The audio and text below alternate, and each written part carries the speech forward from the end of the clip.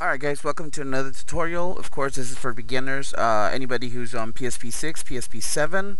Uh, this is working on PSP 8. And of course, you can click on File, Browse to get started. Pick an image by double-clicking from the uh, Browse window.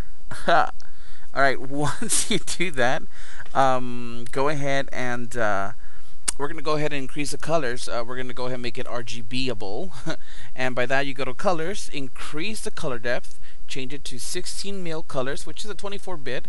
Or you could also choose Control Shift 0 to go ahead and increase the, the colors. Um, go ahead hit the airbrush.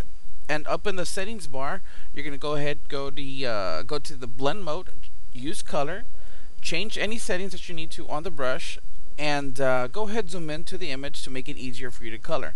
Um, choose the color of the skin. Yeah, that's good. Uh-huh. Choose the color skin. You can always customize any of this. So go ahead and just color as if you were coloring. This is like using an airbrush. You know, it's very smooth. It's very neat. Um, you could zoom in. You could do whatever. Change the size of the, you know, the uh, eraser and all that good stuff. And get to the tight parts, of course.